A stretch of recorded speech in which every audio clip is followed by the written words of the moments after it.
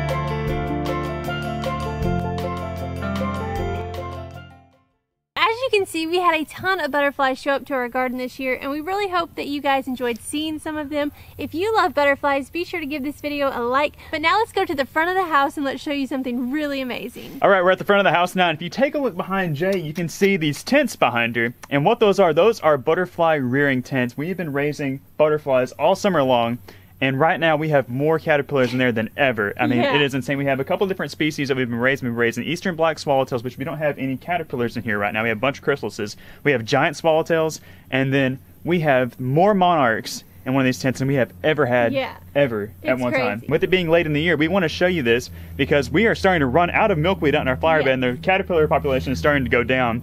So we want to show you this before this all goes away because it is really, really amazing. So let's take a look inside these tents and show you guys the caterpillars we are raising, and eventually we will show you guys the butterflies they turn into. So in this tent, we have our giant swallowtail caterpillars. I'm going to pull it out so you guys can see it a little bit better. But here they are. This is our first year having giant swallowtails. So this is really exciting. This is uh, the plant Rue. And we planted a bunch of this year, and we are very happy that we were able to get some caterpillars. Yeah, if you take a look at it, here's a really big guy right here, and he is in his final instar and is most likely going to change to a chrysalis today. And then take a look, here's some smaller guys. What's really cool about giant swallowtails is they have amazing camouflage. I mean, take a look at that guy. What does he look like to you? I Looks- know. What, what do you think it looks like? He looks like bird poop. Yep, looks exactly like a bird turd on a plant. Nothing is going to want to mess with that caterpillar because of that. And if you do mess with them, they produce this really nasty smell. And they also have these weird little antenna structures that stick out of their face, kind of makes them look more intimidating too. So those are the giant swallowtails. Now let's show you guys the main attraction. You ready, Jay? I'm ready. Y'all ready, guys? Oh wow! Goodness. Inside of this tent, we have been rearing monarch butterfly caterpillars. There's not very many caterpillars left in here. We have just a little bit of milkweed in this tent. And uh, but if you look up at the top, the reason why we don't have much milkweed left is because they have all changed into chrysalises. I can't even begin to count how many are up there. I'm thinking around there's 200. It doesn't look like it from afar, but when you start counting it, you're like, wow, there's so many in there Yeah. close to 200 chrysalises inside of this tent. And within the next seven to 10 days, maybe, maybe even sooner, because some of them went up there a little bit sooner, we're going to start seeing a ton of monarch butterflies emerge.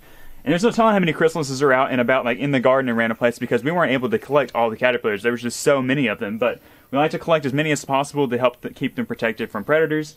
So what we're going to do today is we're going to take you guys out in the garden. We're going to try to find some caterpillars, and we're going to show you guys the process in which we collect them and then rear them from caterpillar to adult. I cannot wait to see these guys come out, and we will definitely be showing you the day when these guys start to emerge. It's going to be epic. All right, so here's what is left of our milkweed stand. As you can see, it's been munched on pretty heavily. We have several different- different varieties in here. We have tropicals, we have butterfly weed, we have swamp milkweed, commons. They didn't really pick a favorite. They pretty much just ate all of it. And what we'll do here in the next couple weeks is actually cut down what's left of the tropical milkweed because it'll continue to grow out and uh, the butterflies will continue to try to lay eggs on it late in the season and we don't really want that. So it's been good for us up until now, but it's time to go. But if you look right here, we still have these milkweed plants here. This is called balloon milkweed. It makes these really weird seed pods on it. It's kind of hidden in here. But anyways, it's still got some leaves on it. It was our biggest and one of our most prolific milkweeds of the year, and there are still some caterpillars on it, believe it or not. And basically, we are relying on this plant to sustain what is left of the caterpillars out here. So what we will do is we will go in here and we will collect these caterpillars. I'll pull this one off so I can show you guys. Here's a little caterpillar right here. Now, normally whenever we're collecting caterpillars off our milkweed to rear inside of the tent, we like to get them when they're either eggs or when they're very small caterpillars. This reduces the chance of them being parasitized by the tachinid fly. But in the scenario when we don't collect them as smaller individuals, we like to get them anyways as big sized caterpillars. That's just because they're more susceptible to being eaten by wasps or getting stuck by stink bugs. I mean, if you take a look over here, where's that guy at? Yeah, you can see it right here. So if you take a look at this guy, he was most likely predated upon by a stink bug that would stick their proboscis in and just suck all their insides out. It's kind of sad. I wish we would have got to that caterpillar sooner, but we're going to try to get as many of these caterpillars out here today so that doesn't happen anymore.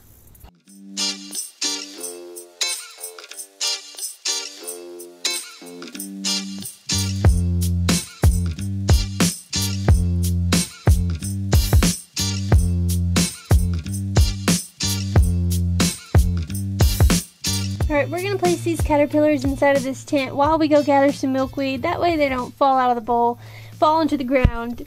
And yeah, we're just going to zip it up. Let's go get them some food. Since milkweed is very toxic, Preggy J is not really supposed to be handling the milkweed, so I'm going to cut us off some nice pieces and we're going to take them there and feed the caterpillars. All right, we've got a Gatorade bottle in here full of water and we're gonna pack it tight with milkweed so that the caterpillars can't fall in and drown. We got a lot of milkweed, so it'll seal up nicely.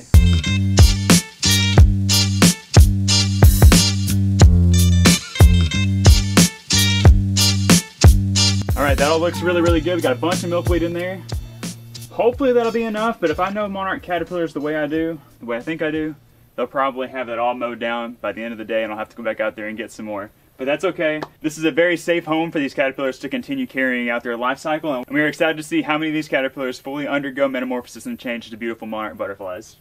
The large and brightly colored monarch butterfly is easily one of the most recognizable butterfly species in North America. Their deep orange colored wings, laced with black veins and white spots along the margins, make them a spectacular sight to see in the garden. Monarchs undergo an incredible life cycle and are famous for their long distance migrations where they gather by the millions at overwintering sites in Southern California and Mexico. The monarch life cycle begins at their overwintering grounds. In the spring, monarchs begin their journey northward and mate. Female monarchs then search for milkweed plants where they will lay between 300 to 500 eggs on the leaves. Most adult monarchs only live for a few weeks, they spend their time searching for nectar rich flowers, for mates, and for milkweed to lay their eggs on. It takes many generations of monarchs to repopulate North America, but it is the last generation that hatches late in the summer that will make the long fall migration. This generation can live upwards of eight months. A few days after a monarch lays her eggs, tiny caterpillars will emerge. Immediately after hatching, caterpillars begin to eat the milkweed and will eat non-stop for about two weeks. The colorful caterpillars have two antenna-like structures at each end of their body and are striped with yellow, black, and white bands. The caterpillars take in and store glycoside toxins from the milkweed plant that they eat, and in turn, the bright colors on the caterpillar's body are expressed as a defense strategy called aposematism. This basically alerts the predators that they are not worth eating because they are toxic and taste bad. However, these warning colors do not always work, as they are often consumed by wasps, stink bugs, and parasitized by tachinid flies.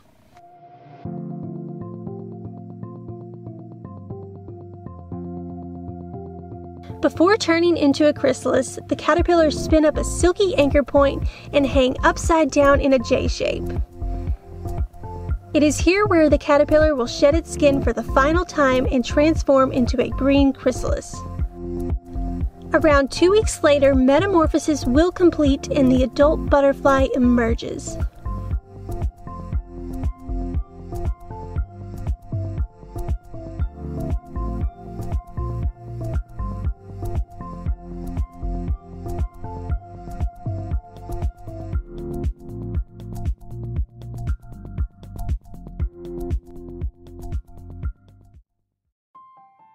Monarch butterflies were once a very common sight across the country. Unfortunately, the monarch population has declined by approximately 90% since the 1990s, and there are several variables that affect them. They face habitat loss and fragmentation in the US and Mexico. They also suffer from pesticide and herbicide usage, which kills monarchs and the milkweed they need to survive. Climate change is another threat to their survival. It alters the timing of their migration and has led to unsteady weather patterns that pose great risks to monarchs during their migration and while overwintering. An easy way to help monarch populations is by planting a pesticide free butterfly garden filled with native milkweed and nectar rich plants. There is also the option to plant non native varieties like tropical milkweed that monarchs really enjoy, but it is important in the southern states to remember to cut it down later in the year to prevent monarchs from trying to use it instead of migrating. Planting milkweed gives you the greatest chance to have visiting monarchs and the opportunity to watch them undergo their life cycle.